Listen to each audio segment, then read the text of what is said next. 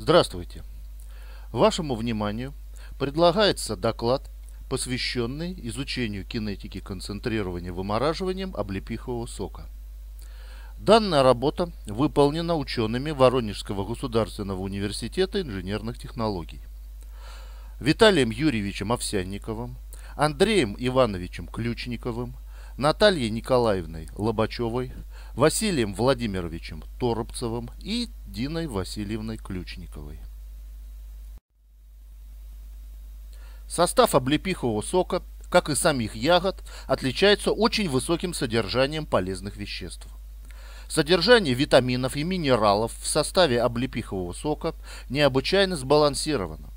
Дополняется оно наличием умеренных количеств фосфолипидов, фитостеролов, аминокислот, моно- и полиненасыщенных жирных кислот.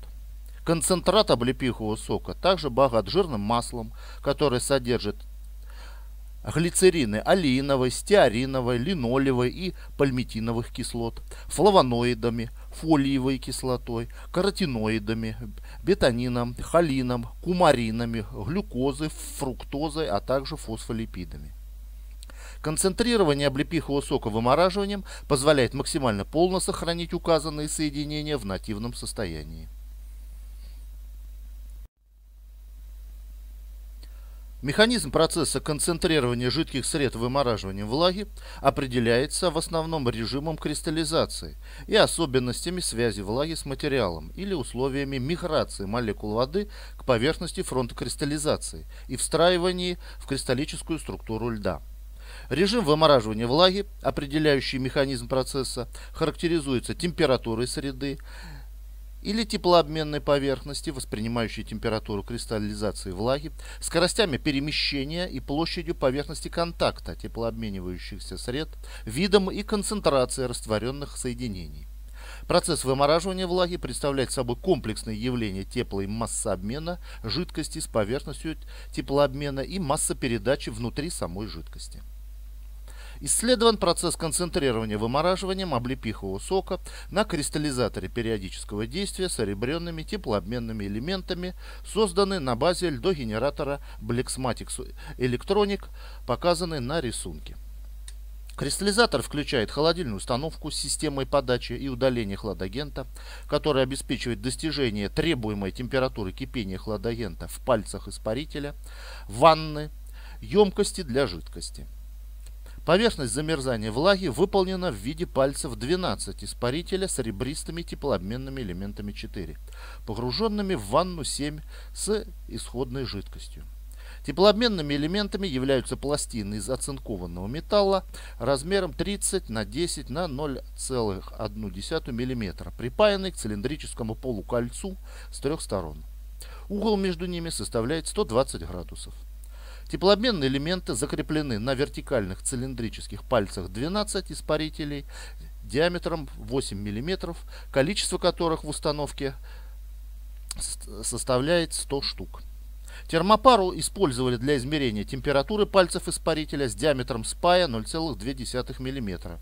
Соединительный конец термопары был присоединен к входному разъему прибора ТРМ-202 фирмы Овен с диапазоном измерений от 73 до 1073 кельвинов и ценой деления 0,1 кельвина. Ванна 7 для жидкости была выполнена из листовой нержавеющей стали толщиной 0,2 мм и теплоизолировалась. При концентрировании облепихового сока ванна находилась в поднятом положении. Продолжительность цикла концентрирования контролировали электронным секундомером. Освобождение пальцев испарителя от вымороженного льда осуществляли при опущенной ванне 7 и работе холодильного агрегата 1 по системе оттайка. Масса вымороженного льда измерялась за один цикл концентрирования. При этом вымороженный лед помещали в предварительно взвешенную колбу, а общий вес колбы со льдом определяли на аналитических весах. Для определения величины сухого вещества жидкости, захватываемой со льдом, лед расплавляли, термостатировали при температуре 293 Кельвина и определяли содержание сухого вещества с помощью рефрактометра ИРФ-22. Система подачи жидкости в ванну 7 включала насос с расходом 1200 до тысяч дециметров кубических в час мощностью 40 Вт, дренажную магистраль 3 и подачи 8 жидкости с регулирующими клапанами и расходомером 9. Система подачи хладагента в полость пальцев 12 испарителя состоит из холодильной установки, содержащей поршневой герметичный компрессор, конденсатор, ресивер, фильтр-осушитель, датчик контроля температуры 6, реле давления и электромагнитные клапаны. В машине используется Freon 134А. Мощность холодильной установки позволяла проводить эксперименты с температурой кипения хладагента от 262 до 250 кельвинов путем изменения холода производительности компрессора. Давление во всасывающем и нагнетательном трубопроводе компрессора контролировали манометрами, установленными на приборной панели 11. Значит, при проведении исследований использовали следующую методику. После внешнего осмотра установки включали холодильную машину, в трубопроводе испарителя открывался клапан подачи хладагента и с помощью термопары контролировалась температура кипения хладагента. После достижения необходимой температуры испарителя включали насос 10, обеспечивая подачу жидкости в ванну 7, которая находилась в горизонтальном положении, и включали секундомер. Заданный расход жидкости регулировали путем предварительного изменения сечения потока линии подачи жидкости регулировочным вентилем. В ходе эксперимента фиксировали э, точки кипения хладагента в испарителе, давление всасывания, давление нагнетания компрессора, скорости потока и продолжительности цикла замораживания. В то же время измерялось напряжение и ток в цепи двигателя. По истечении времени цикла вымораживания, принятого равного 60 минутам двигатель насоса выключали, остатки жидкости сливали из ванны в питающий бак, ванна приводилась в положение опущено и охладильный агрегат переключался в режим оттаивания. При этом при переключении электромагнитных клапанов горячий пар хладагента подавался на пальцы испарителя и ребристые элементы. Контактирующий с ними ледяной слой частично таял, и лед свободно сползал серебряных элементов в сборник льда. После цикла замораживания рассчитывали производительность установки по вымороженному льду, определяли содержание сухого вещества в концентрированной жидкости и растворе, полученном после таяния вымороженного льда. Экспериментальное исследование изменения средней величины количества вымороженного льда с единицей теплообменной поверхности вымораживающей установки во времени являются важной характеристикой процесса вымораживания влаги.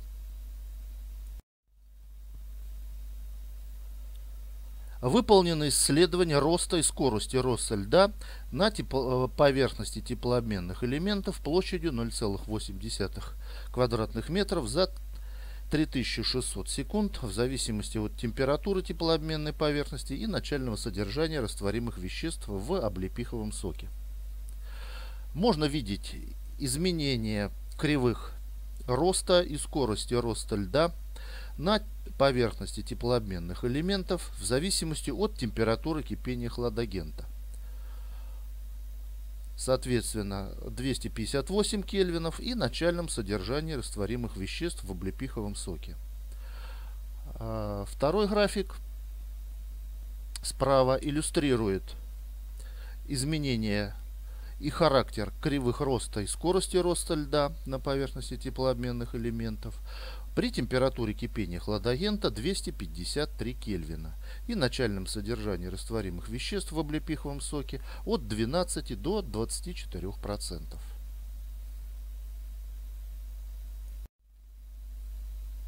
Представлены кривые роста и скорости роста льда на поверхности теплообменных элементов площадью 8 сотых квадратных метров при различном начальном содержании растворимых веществ. Правая рисунок для содержания растворимых веществ 12,5% и левый рисунок для содержания растворимых веществ в облепиховом соке равном 18%. Анализ зависимости роста льда и скорости роста льда полученные методом графического дифференцирования, показали следующее. Кривые роста льда на теплообменной поверхности вымораживающей установки в зависимости от температуры поверхности вымораживания и начального содержания растворимых веществ в облепиховом соке нелинейные, но тем не менее носят схожий характер. Увеличение начального содержания растворимых веществ в соке при постоянной температуре кипения хладагента в испарителе вымораживающей установки снижает удельное количество льда, образовавшееся на теплообменной поверхности. Температура кипения хладагента в испарителе вымораживающей установки также влияет на удельное количество вымороженного льда. Изменение температуры кипения хладагента вызывает нелинейное увеличение удельного количества льда, вымороженного на теплообменной поверхности. С уменьшением температуры кипения хладагента удельное количество вымороженного льда повышается. Кривая скорости роста ледяной фазы имеет достаточно сложную форму. В момент контакта с поверхностью испарителя облепихового сока скорость кристаллизации резко возрастает. От нулевого до максимального значения. За весьма краткий промежуток времени. Из-за так называемого теплового удара в момент контакта сока с элементами испарителя вымораживающей установки. Затем кривая скорости кристаллизации резко изменяет свой угол наклона. Наблюдается практически линейное изменение направления кривой скорости кристаллизации влаги на теплообменной поверхности до второй точки перегиба. Это свидетельствует об образовании тонкого слоя льда на поверхности теплообмена и формировании температурного режима между облепиховым соком и поверхностью теплообмена который носит достаточно установившийся характер. После этого характер кривой скорости роста ледяной фазы приобретает нелинейный вид, после чего претерпевает вторую точку перегиба и монотонно нелинейно снижается. Данная точка перегиба является своего рода пограничной. Она разделяет процессы льдообразования влаги, которые имеют различный характер связи с растворенными веществами облепихового сока. В начальный период вымораживания кристаллизуется влага, находящаяся в слоях наиболее близких к поверхности льдообразования, в форме наименее связанной с растворимыми веществами облепихового сока. Затем, при смещении слоев жидкой фазы наступает период резкого снижения скорости льдообразования, вызванный термическим сопротивлением слоя вымороженного льда на теплообменной поверхности. Кроме того, оказывает влияние возрастающей силы сцепления молекул воды с растворимыми веществами облепихового сока. Изменение степени концентрации облепихового сока при вымораживании от начального содержания растворимых веществ также нелинейное. То есть это можно видеть на представленных графических зависимостях. При увеличении начального содержания растворимых веществ в облепиховом соке величина отношения растворимых веществ в сконцентрированном соке по отношению к исходному содержанию нелинейно снижается. Температура кипения хладагента в теплообменных элементах вымораживающей установки также влияет на изменение степени концентрации облепихового сока при различном содержании растворимых веществ в нем. Увеличение температуры кипения хладагента вызывает снижение степени концентрирования при прочих условиях вымораживания. Резюмируя вышесказанное, можно отметить следующее. Теплоотдача при концентрировании облепихового сока методом вымораживания происходит исключительно на поверхности теплообмена. Кристаллизация же влаги только в начале процесса вымораживания происходит на самой поверхности в аппарате, а затем поверхность теплообмена с геометрической поверхности охлаждения аппарата перемещается вместе с фронтом кристаллизации. Образуется слой льда, толщина которого непрерывно увеличивается.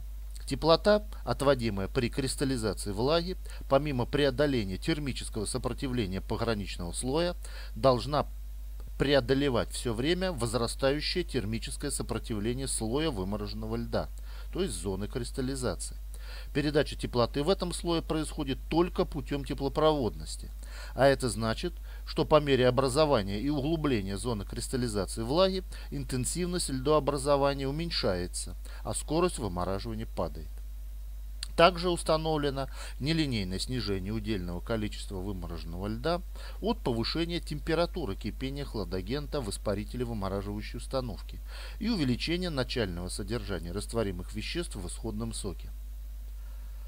Ходе исследования также выявлены периоды кристаллизации влаги с различным характером связи воды с растворимыми соединениями облепихового сока.